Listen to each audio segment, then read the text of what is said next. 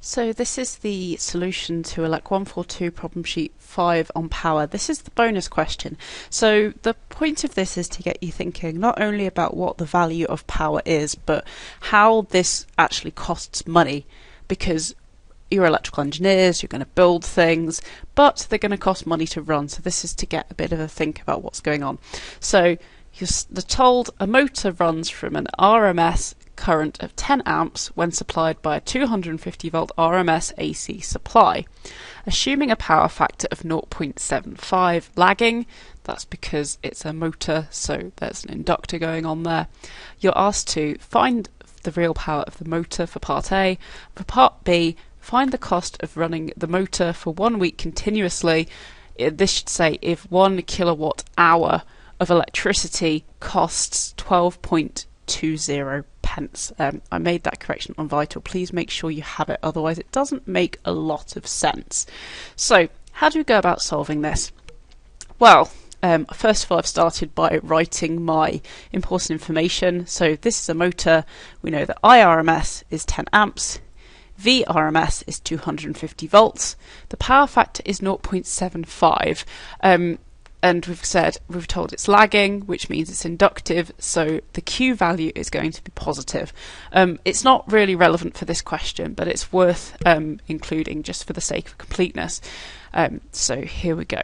So we're asked to find the real power P.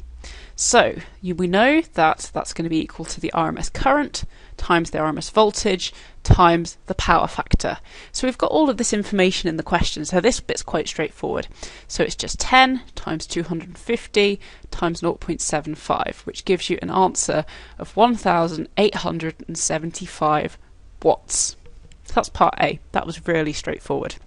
Um, part B we've got the additional information that 1 kilowatt hour of electricity costs 12.20 pence. So going to be running this motor continuously for one week and we've got this value in hours. So we need to find how many hours in a week. So that's one hour times 24 because there's 24 hours in the day times 7 because there's 7 days in the week which will give you an answer of 168 hours. So that's how many hours our motor is going to be running for. So we need to find out how much it's going to cost us to have this going. So, to summarise, we are running a motor with a power consumption of 1875 watts for 168 hours. So we take 168 because that's the number of hours times the um, power consumption of that motor, which is 1875 watts, and then we find that we're going to use 315 kilowatt hours of electricity. So that's the first bit to get to that point. So now we know how many kilowatt hours we need to run it for this long, we can find out how much that's going to cost us.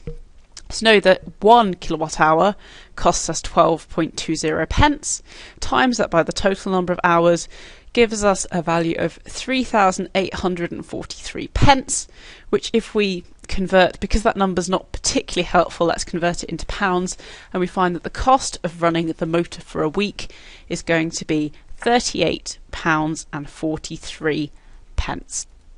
So hopefully that all made sense to you. Uh, if you got that far, well done, and congratulations on completing example sheet 5.